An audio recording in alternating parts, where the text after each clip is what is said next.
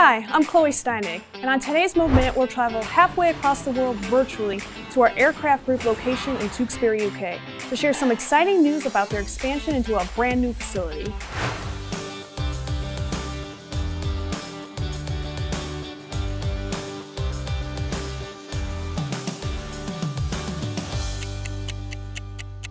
Thank you so much, Graham, for joining us today. Can you start off with just telling us a little bit more about the UK site and what products are manufactured there? The Tewkesbury AG site primarily makes servo valves. That's our main product and it runs for the aircraft component sector. So, what is Project Meteor?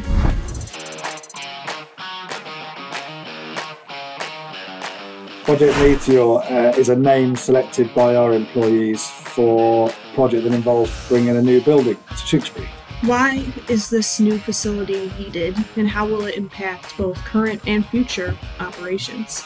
The current facilities are very cramped, very space constrained. It doesn't allow us any capacity for future growth. We are looking to double capacity output of our facility within 10 years and it doesn't provide for the most efficient layouts and running operationally. So the, the new facility should give us that greater space and capacity for future growth. When did this Project Meteor start and how did it come about? We first started talking about it back in 2017. We looked at the facilities we had and started to appraise whether they were capable of handling our future requirements. It became fairly apparent quite quickly that actually they wouldn't. So we were offered the opportunity to go and find new facilities. We finally found a good opportunity just down the road, and uh, yeah, we started building in 2021 and due to finish the end of this month. So, how big will the expansion be, and where will it be located in terms of like proximity to the current facility?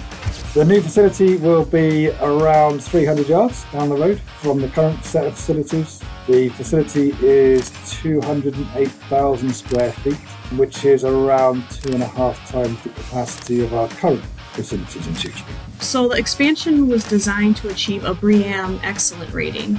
What does that mean in terms of sustainability?